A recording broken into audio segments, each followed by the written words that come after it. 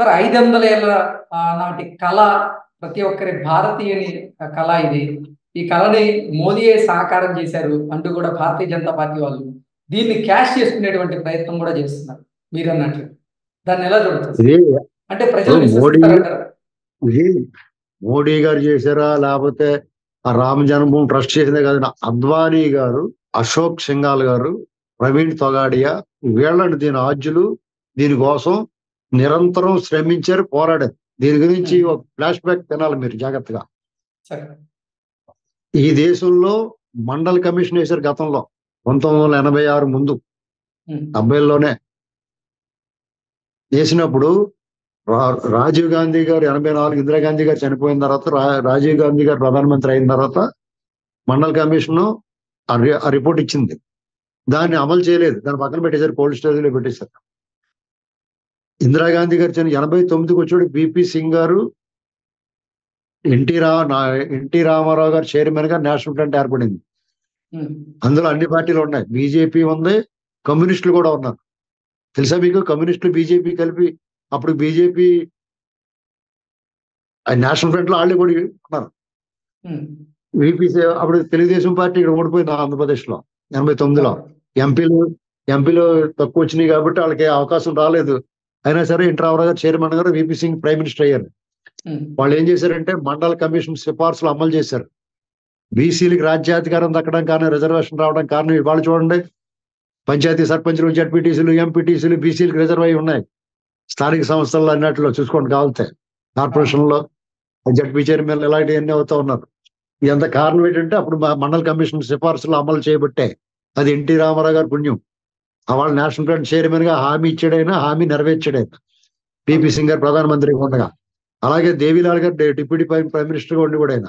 అప్పట్లోనే రుణమాఫీ చేశారు. చనిపోయిన వాళ్ళ రుణాలు కానీ పదివేల లోపు రుణాలన్నీ ఎత్తి పడేశారు. అప్పుడు పదివేలు ఎక్కువ. ఎనభై తొమ్మిదిలో. కాబట్టి అప్పుడు బీజేపీ ఏం చేసిందంటే ఈ నేషనల్ ఫ్రంట్ ఈ దేవిలాల్ వాళ్ళనేమో రైతులకి వీళ్ళేమో అవి వెనకబడిన తరగతులకి ఇలాంటి మంచి మేళ్ళు చేస్తున్నారు. మన పని ఏమైపోతారో బాబు బీజేపీ ఏం చేసింది వాళ్ళకి ఒక ఎజెండా ఉండాలి కదా అని ఈ రామ జన్మభూమి ఎత్తుకున్నారు వాళ్ళు. ఈ అసలు రాజీవ్ గాంధీ గారు ఆ తలుపులే తెరిచి ఒకసారి వదిలేడు అందరు లోపలికి అందులోకి. అలాంటిది ఈ రామ జన్మభూమి మంచి కలిసి వచ్చిన అంశం అని చెప్పి రామ జన్మభూమి రామ మందిర నిర్మాణం అనేటువంటి రథయాత్ర మొదలెట్టాడు. అప్పట్లో లలూ ప్రసాద్ యాదవ్ ఇలాంటి వాళ్ళు అందరూ అబ్జెక్ట్ చేశారు. సెన్సిటివ్గా ఉన్నది సున్నితత్వం ఈ దేశంలో ఉద్రిక్తలు పెరుగుతాయని చెప్పేసి ఎన్టీ రామారావు గారు హితవు చెప్పాడు నేషనల్ ఫ్రంట్ చైర్మన్గా. చాలా మంది ఆర్తోళ్ళు ఎన్టీ రామారావు అడ్డుకున్నాడని చెప్పేసి పిచ్చిపోతలు కోతున్నారు. ఎన్టీ రామారావు గారు అప్పుడు కాషాయాంబరధారి. అతను వామపక్ష భావజాలం ఉన్న రైటిస్ట్ అర్థమైంది మీకు? అతను అసలు సిసలు సెక్యులరిజం పాటించిన వ్యక్తి. పరమత సహనం ఉన్నవాడు. అలాగే ఆ హైందవ ధర్మాన్ని మత విశ్వాసాలు పూర్తిగా పాటించే వ్యక్తి. ఈ విషయాలు పూర్తిగా తెలియకుండా ఇప్పుడు ఈ నార్త్ ఆ చపాతీ బ్యాచ్ అంతా కూడా ఆయన మీద విషయం చెబుతున్నారు. అర్థమైందా? ఎన్టీ రామారావు గారు వాళ్ళు అద్వానీ గారిని నేషనల్ ఫ్రంట్ చైర్మన్గా ఈ దేశంలో ఉద్రిక్తతలో పెరగకుండా ఉండాలి. మీరు ఈ రథయాత్ర విషయంలో ఆ పునరాలోచించడం చెప్పాడు అంతే. కానీ అద్వానీ గారిని పూర్తిగా ఆహ్వానించాడు ఆయన స్వాగతించాడు ఆయనతో మాట్లాడాడు. ఆయన ఆయన అప్పుడు గవర్నమెంట్ ఇక్కడ ఎవరు ఉన్నారు? కాంగ్రెస్ గవర్నమెంట్ ఉంది ఇక్కడ అద్వానీ గారి రథయాత్ర సక్రమంగా సాగింది ఆంధ్రప్రదేశ్లో నేను వెళ్ళాను రథయాత్రలో పాల్గొన్నాను నేను రాయమండ్రిలో.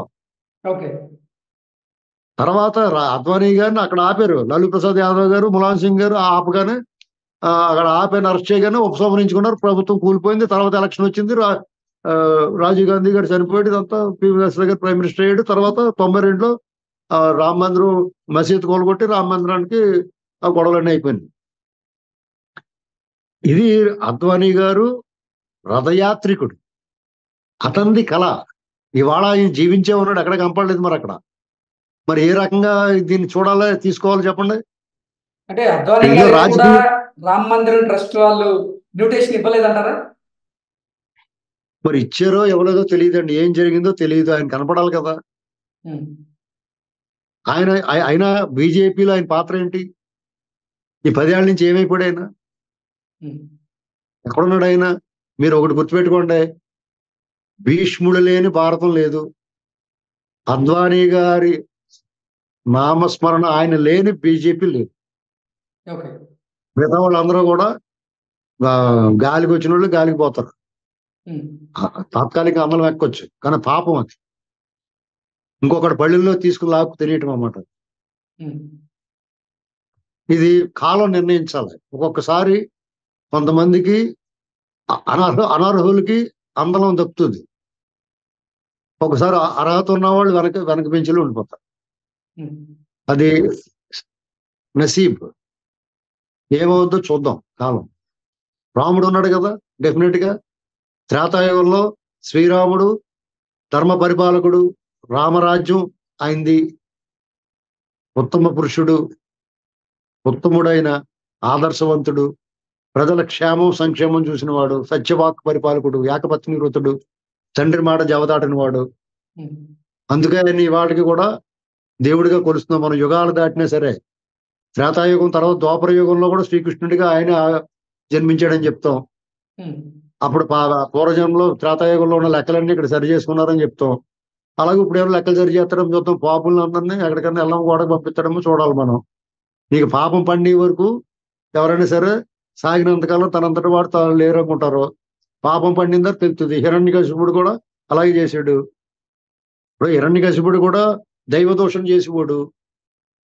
విష్ణు అనేటువంటి వాడు లేడు అని చెప్పేవాడు. ఉమ్, ఎక్కడ ఉన్నాడో చూపించంటే ఆ స్తంభంలో ఉన్నాడంటే స్తంభాన్ని బద్దలు కొట్టగానే అందులో వచ్చేసాడు నరసింహుడు అవతారం. అలా ఎప్పుడోకప్పుడు ఎవడో ఒకటి ఏదో అవతారం ఎత్తాడు భగవంతుడు అవసరమైనప్పుడు.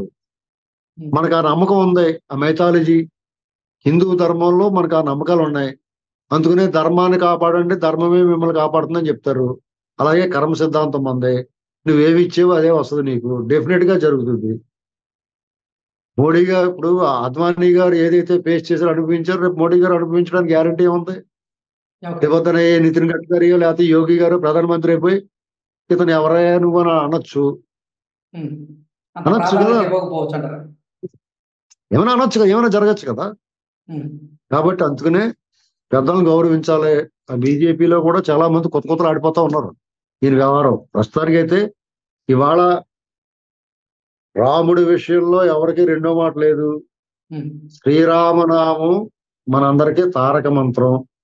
డెఫినెట్గా శ్రీరాముడు లేని గ్రామాలు ఉండవు ఊళ్ళు ఉండవు వీధులు ఉండవు. మనందరం కూడా శ్రీరాముడు మనందరికి మన జీవితంలో భాగం. అలాగే ఆంజనేయ స్వామిని మన ధైర్యం కోసం ఆంజనేయ స్వామిని తలుచుకుంటాం మనం. ప్రతి హిందువు కూడా. కాబట్టి మన కొత్తగా ఏమీ మనకి సెపరేట్ ఏం లేదు. కానీ ఇవాళ సంబరం జరుగుతుంది కాబట్టి ఆనందిస్తాం. బాలరాముడిది ప్రతి ప్రాణ ప్రతిష్ఠ జరుగుతుంది కాబట్టి సంతోషం పండగ వాతావరణం. డెఫినెట్గా పండగే. దేవుడు దేవుడి పండగ అంటే మన పండగే కదా.